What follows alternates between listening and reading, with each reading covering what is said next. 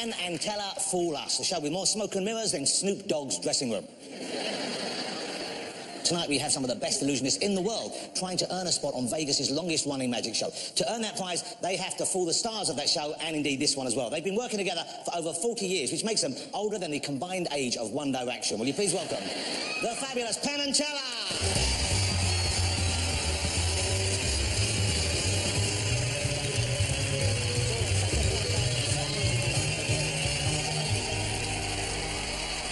Gentlemen. the show can begin.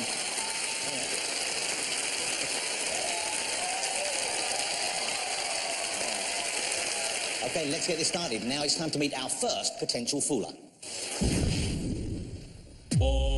I'm Jay Sankey, and I'm from Toronto, Canada.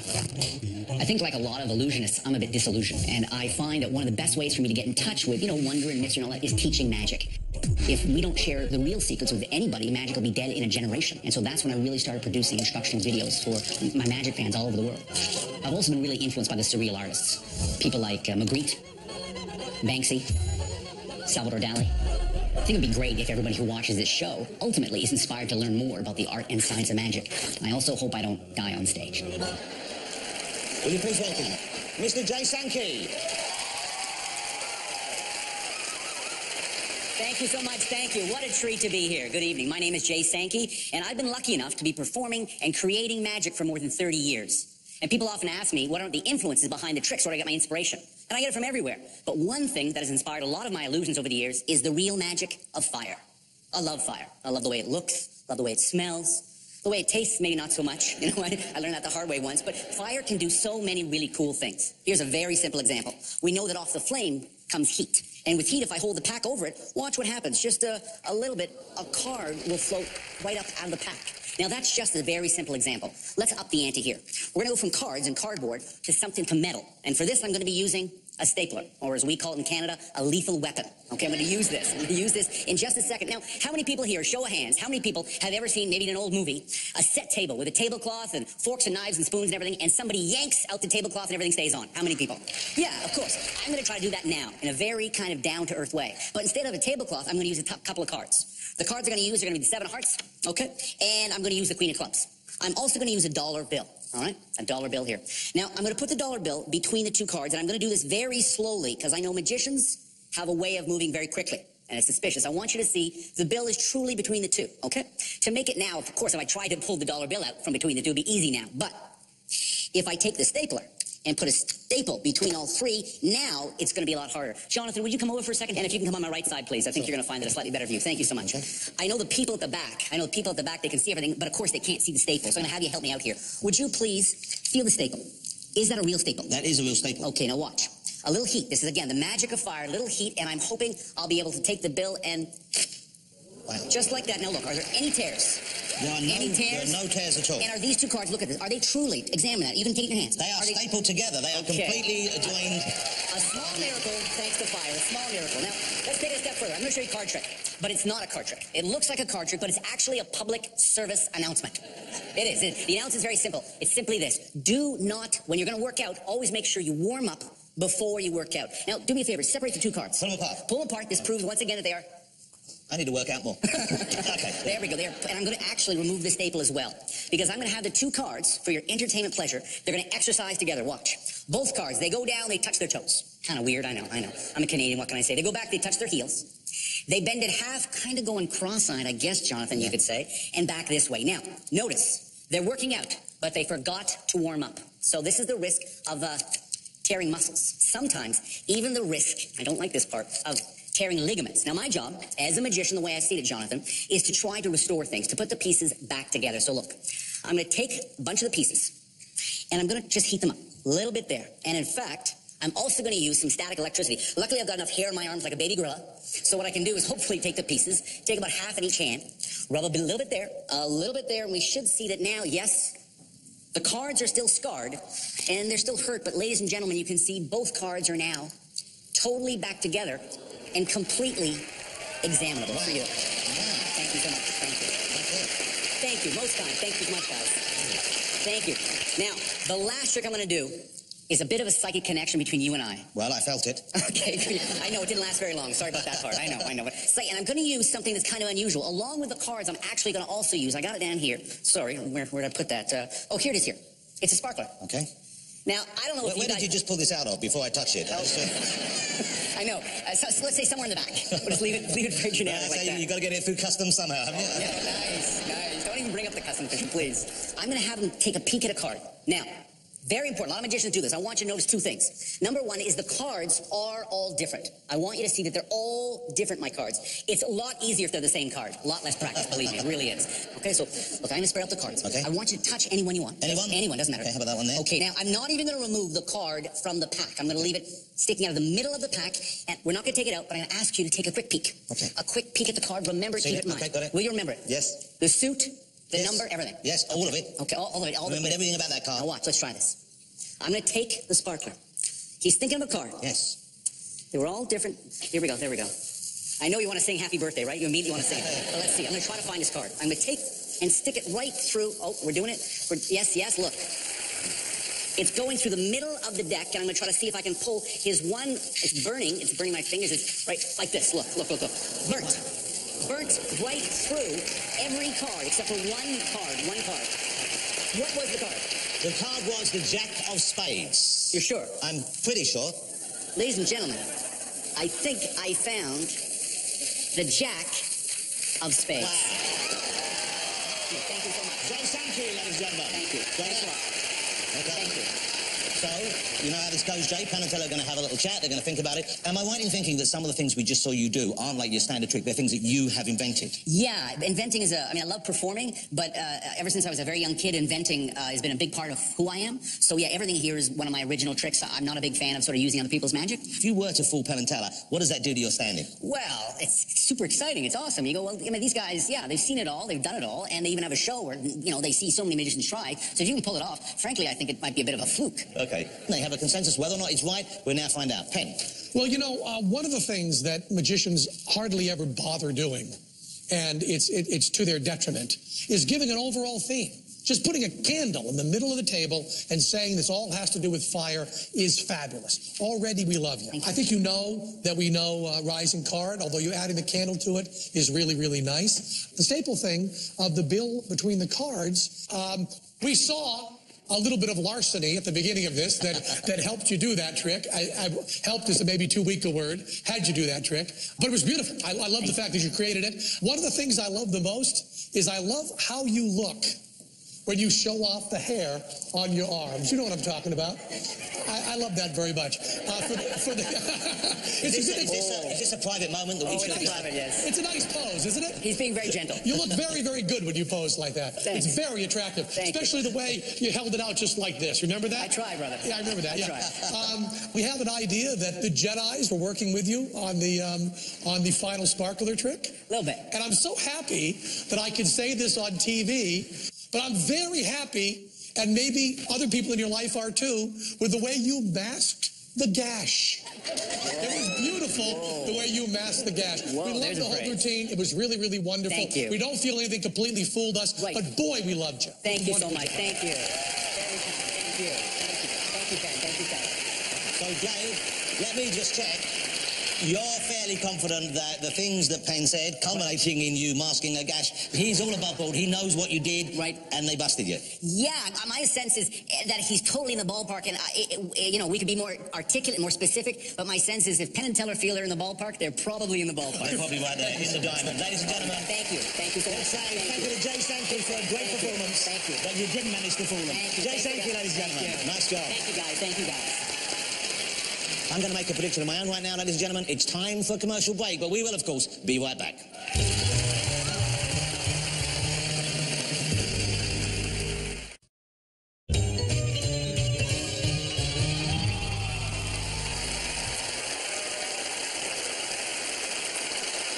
Welcome back to Penn and Teller Fool Us, where magicians try to trick two of the all-time greats. Let's see if our next act is up to the task.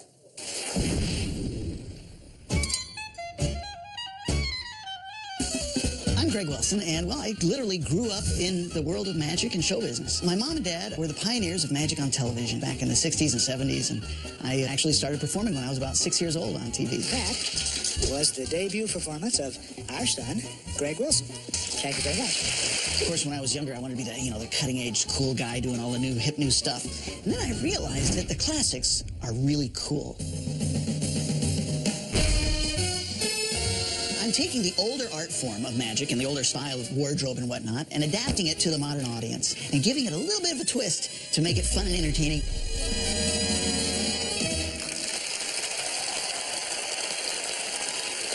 Our next magician is a second generation performer. His dad performed in a show called Magic of Allakazam, a wonderful place which I believe today we call Istanbul. Will you please welcome Mr. Greg Wilson?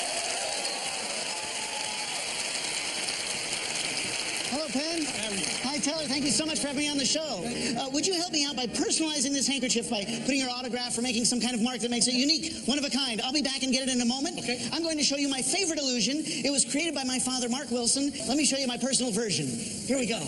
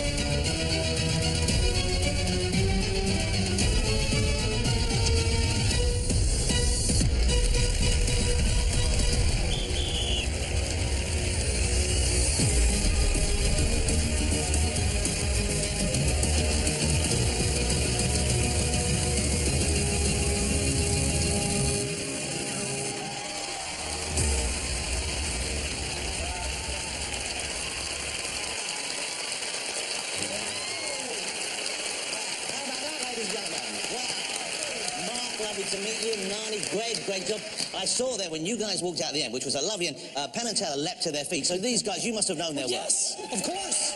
So fabulous to meet you both. Ladies and gentlemen, Mark and Nani, off you go. Thank you so much for being here. How wonderful. Mark and Nani, ladies and gentlemen.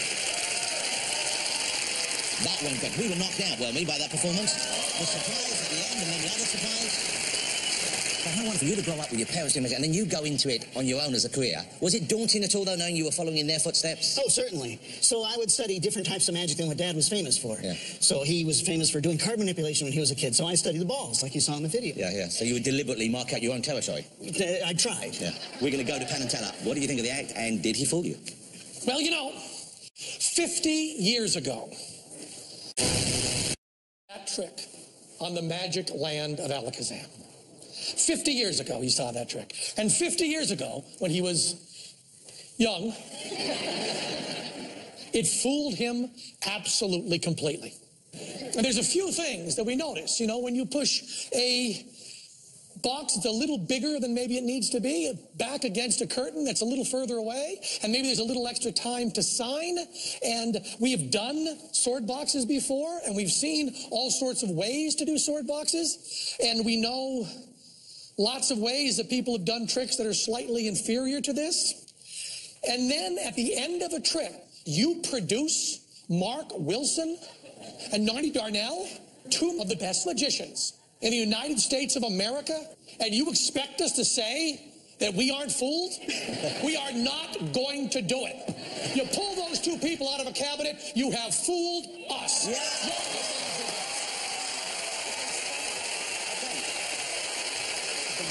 Wow, what over. Wow. That's not the big prize. You'll be back here as part of Penn and Teller's show in Vegas. So, Greg, congratulations. Greg Wilson, ladies and gentlemen. Congratulations. Fellas, back to your chairs. Wow. We'll be right back with more amazing illusions and later in the show, just for you, a special performance from Penn and Teller. So stay close.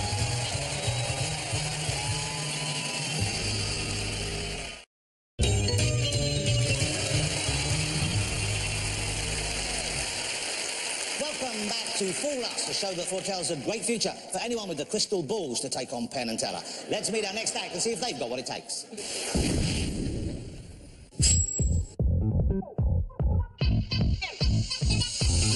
Hi, my name is Trig Watson, and I live in Dallas, Texas. So my dad is a research scientist, my mom's an editor, I'm a magician, go figure. So in college, I studied business and theater. I like to call that show business. As a performer, I'm inspired by other art forms, whether it be theater, music, even stand-up comedy. In order to be a good magician, I love to collaborate with other experts in other fields because that gives me new ideas. While a lot of magicians will buy magic effects, I like to build my own. As technology becomes more and more integrated with our everyday lives, I want to create magic with these everyday technology devices. So, can I fool Penn and Teller? I'll certainly try my best. If magic doesn't work out for our next performer, then he can make a solid living as a stunt double for Neil Patrick Harris. Will you please welcome Trig Watson? Thank you. Good evening. Good evening, everyone. Penn, Teller. A lot of people think that magicians on television use camera tricks. And in my case, they'd be right. I'll be performing an illusion that uses a camera, or rather, a, a camera app. I'm going to go to my tablet here, open up my camera app here. Here we go. Oh, that's Angry Birds. I was playing that earlier. Let me get rid of that. And go to the camera app. There we go. Are you ready? You know what you call this? It's an iPad. Get it? Came up with that myself. See, the, the camera on the back here is really good about representing three dimensional reality on a two dimensional screen. I'd like to try and take something one step further by creating something in two dimensions and then bringing it into real life. Watch.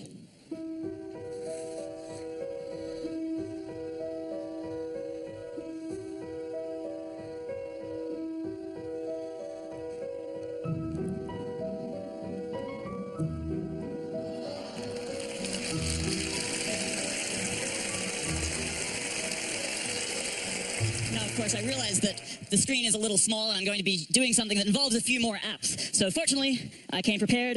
I brought along with me my own personal phone. Yes, this is a smartphone. It's the 7 Plus. Although in Penn's hands, it would be more of a two and a half. What I'm about to do, I require a little bit of assistance, and I thought, who better to help than our very own host, Mr. Jonathan Ross. My pleasure. Are you busy? Do you have a minute? Are I'm you busy? very happy. Uh, pleasure meeting you. Come take a seat right here if you would sit like. here? Go Take a seat. Yep. Now, Jonathan, as host of Fool Us, I know that you've seen your fair share of card tricks. So today we'll be performing an app trick. I'm going to select one of these apps at random and place it over here on the microphone stand. That will serve as my prediction. Jonathan will then be choosing a random app from a similar set of apps right here. Hopefully, the app that Jonathan chooses at random will match my prediction. Now, if they don't match, Jonathan messed up. now, Jonathan, I don't want you to see my prediction, all right, on the overall here on the uh, on the prediction stand. So I am going to, uh, if you don't mind, I'm going to blindfold you for the next few minutes. I have a blindfold for you to wear. Go ahead and just slip that on for me, if you wouldn't mind. I'm there open to new experiences. Perfect. There you go, Jonathan. I want you to know I have your complete comfort and customer satisfaction in mind. Relax, take a break, enjoy. There you go. Feel free to take a nap. Time for me to make my prediction. Let's go with, let's see, I think we'll, we'll go with this one today. I want everyone to remember it, commit it to memory. I'm going to place it over here in the stand. Now, Jonathan is going to be choosing a random app from this set of apps. Uh, all different choices. Jonathan, Jonathan, you wake up now. Jonathan, wake up. It wasn't me. Welcome back. Uh, go ahead and remove your blindfold now, if you don't mind. Welcome back. Thank you. Now, Jonathan, I know that you're probably aware that some magicians at this point may try to make you choose a certain card, you know, try and force you to make a choice. I want you to know this is a completely free choice. Truly, pick an app, any app. Just Any go ahead, reach in there. Yep. Don't look, just take it out. This one That one right there. No, don't look at it yet. Just take it out. Perfect. Allow me to recap. I have chosen one app. One app only, which is resting here on the prediction stand. Chosen from a whole bunch of different apps on the phone. Now, of course, Jonathan had a lot of different choices as well. We've got 24 apps here. Jonathan, I want you to now say the name of the app out loud. Angry Birds. Seriously? You want to look? Can I see? Uh, Angry Magician. Uh, just, just as well, because I may or may not have chosen Angry Birds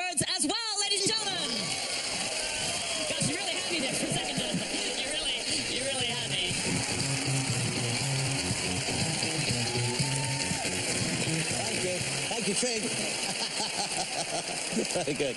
Okay, well, let's go uh, front and centre here while Penn and Teller deliberate and they talk about how you did what you did and whether they know them. Let me ask you, I've never met a Trig before. Oh yeah, well it's uh, it's funny. In school, math was my least favorite subject. it's a little bit ironic, um, but it's, it's a Norwegian name. So it's a real name, it's not a nickname. No, it's literally my real name. I'll t- it's interesting. The name Trig in Norse means trustworthy and truthful, which is also ironic. Yeah. given- given that I'm a magician. So the path was chosen for you I guess so. I think they've had long enough. Let's go over now to Penn and Teller. Why don't we start with you, Penn? Okay. Uh, great routine. Uh, we love uh, love bringing uh, bringing technology in. I don't know if you're old enough or lucky enough to have met Billy McComb. Never in person, but I'm a big fan. But we were very good friends. Back in the 90s, we used the thing he did called the McComical deck, which is what you're doing mostly here, Yes. but a very magnetic version of it. and you did a, uh, the double punchlines are always great in a magic trick to give one punchline that completely sells it and then turn it around the other way, bring out a failure. But the thing I like most about this, I think, is the fact that quick change is a really, really magical thing. And it's never used enough in magic. And using uh, principle of quick change in order to do a another punchline on top of it was a wonderful thing. But I think we got all the uh, all the details of what you did, and I like to see it as kind of a tribute to the great uh, Billy McComb. who, for those of you who don't know, is one of the greatest comedy magicians who ever lived. I hope Fabulous. I did him justice. But let me just check. What Penn said there, was that enough for you to accept that they do know what was going on up here? Yes, I think so. Okay. Well, you did it phenomenally. They know their stuff. You very much. But you were great. It was a great show on it, ladies and gentlemen. Join me in saying thank you to Trig Watson. Thank you. Trig, thank you, sir. Thank you. I like all these. I want you to think of a card during this next commercial break, and when we come back, I will forget to ask you about it. Don't go away.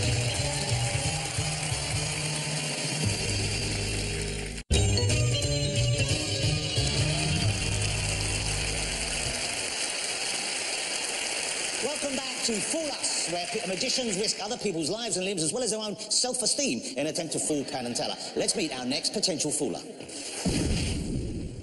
Hi, my name is Jen Kramer, and I live right here in beautiful Las Vegas, Nevada. So when I went to Yale, I became a theater major because they didn't have a major in witchcraft and wizardry. I figured Yale is basically Hogwarts. I'll join the Magic Society. And I show up on campus, and turns out there wasn't a Magic Society. So I decided to start one, and I'm proud to say it's still going strong. So when I was 14 years old, I was dreaming of being in Las Vegas one day, of performing on a big stage. Now that I'm doing my show here, there will be girls who come up after the show and say, you know, I just, I never considered magic. But then I saw the show, and, you know, now I think magic is so cool. And that to me is so rewarding. I love that about magic.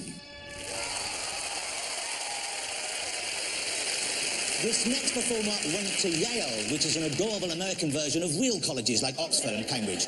Will you please welcome Jen Kramer?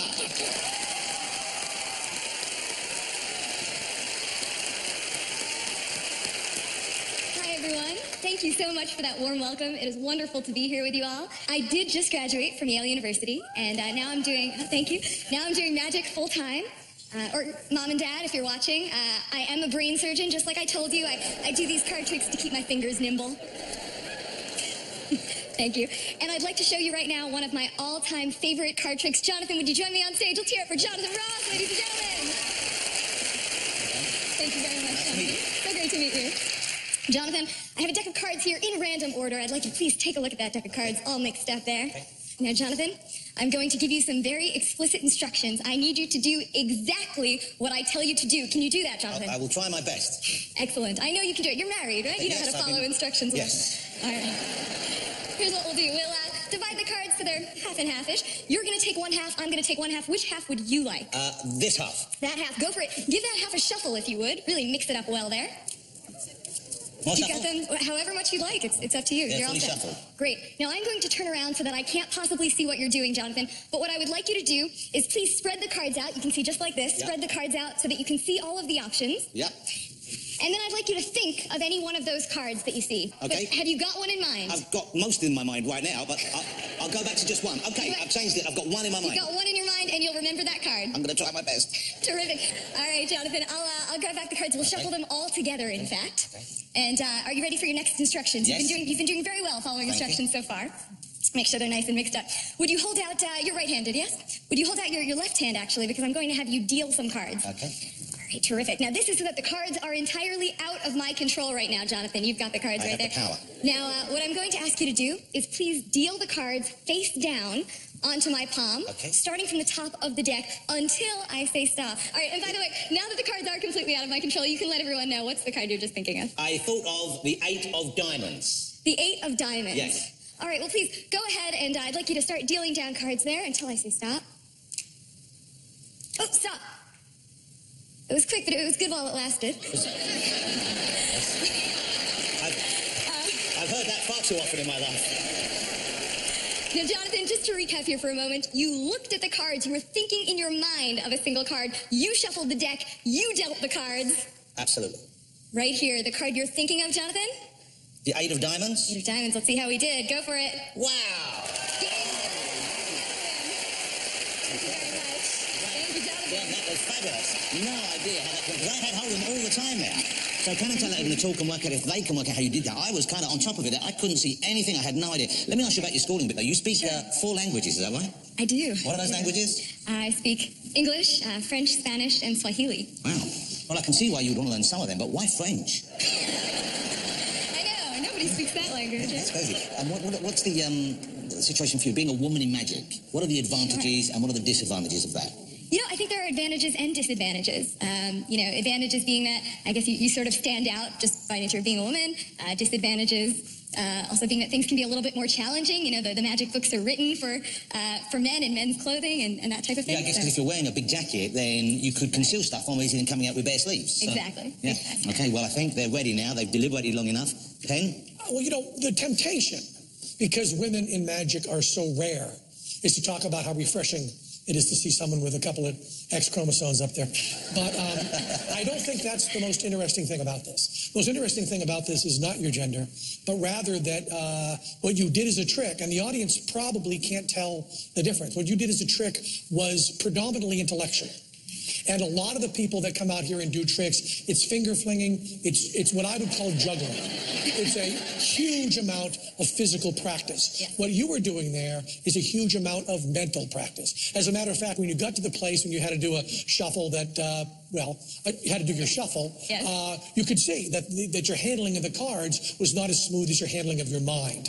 I'm going to say a couple of names to you. There's a great Spanish magician named Juan uh, Yeah. Tamariz, and there's another great Chicago magician named Aronson. And I bet that either of those two guys have a pretty good idea of the capacity you had. And I want to tell you, my favorite kinds of card tricks use this technique because I love it when it's up here instead of here. You had a pretty good idea? Absolutely.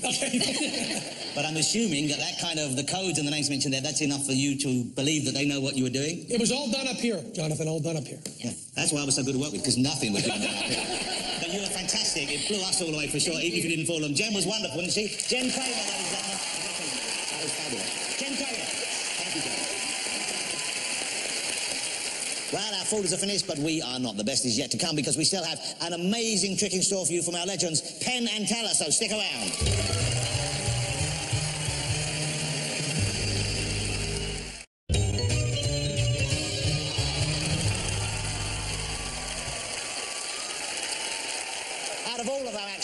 I feel confident saying our final one is without a doubt our most famous and definitely our best looking. It's also their show, so they may or may not have made me say that last part. Okay, it's time to see them do a trick. Ladies and gentlemen, go crazy for Penn and Teller!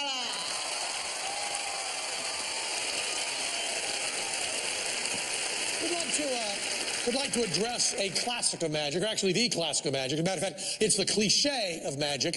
It's a cliche that when someone does something impossible, they've pulled a rabbit out of their hat. And it is the, uh, it is the icon of magic to have a 19th century magician with a top hat and a wand, a little tap, and a live rabbit coming out. And every magician does this. We have, well, every magician we've had out here is part of their routine. They will pull a rabbit out of their hat. Every birthday party magician you see, every backyard magician, every magician on Broadway or on the strip. No.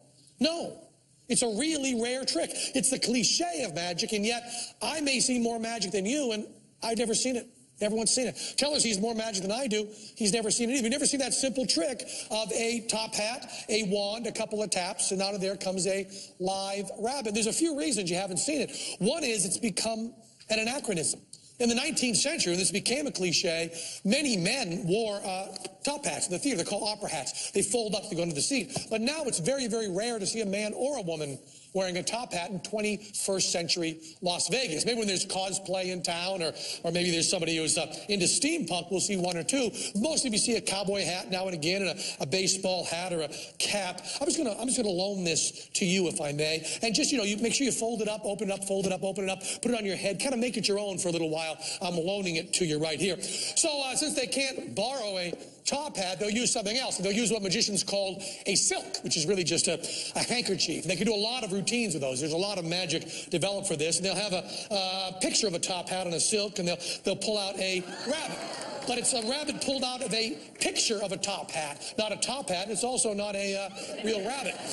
This is what's called a kicker. It's sold in magic stores, uh, very expensive. It's a spring covered in fur, and if you puppeteer it properly, which Teller does, at least in the long shot, kind of looks like a uh, like a real rabbit. It makes the magic much easier because you can compress this, you can kind of palm it, you can also hide it up your sleeve. It's easier to handle this, and it also deals with another problem, another anachronism, which is in the 19th century we didn't really care very much how animals were treated, but the sphere of compassion for humanity has grown. In the 21st century, we insist magicians and audiences alike, that uh, life is treated with compassion, dignity, and respect. So it makes it really hard to do the rabbit out of the hat trick. Does anybody here have a top hat? Anybody have a top hat in the audience? Is there a top hat? Uh, you, you have a top hat. Can you come up here, please? Right up here. Yeah. Bring your top hat with you right up here, please. Thank you so much. What is your name, please? Hello, Kat. My name is Penn. This is uh, this is Teller right here. Kat. And Kat, take a look at that top hat. Huh? May I borrow the top hat back for a moment, please? Kat, thank you so much. And uh, Kat, did you get a chance to fold it up like this? I did. And you open it up like that? Did all that? Did you look around on the inside? Yeah, It's completely empty. Because I'm going to show this to the camera, but it's black on black. So I take a magic wand. Here's the trick that you wanted to see, the cliche. Borrowed top hat. Borrowed from Kat. A couple of taps right here. Circular gesture. And then out of that top hat comes a live. You can touch it. That's all, that's all rabbit. Wassy. That's Wassy the rabbit right there. Wassy. Say hi to Wassy. Is that a real rabbit right there? It is. There it is, the classic of magic, a live rabbit out of a borrowed top hat. Thank you so much, Kat. Right there, watch your step right back there. That is our rabbit, Wassy. Wasn't that great, ladies and gentlemen? Penn and Teller. Phenomenal close to the show, and that's it. Join us next week when we see who else can trick the magnificent Penn and Teller. See you then.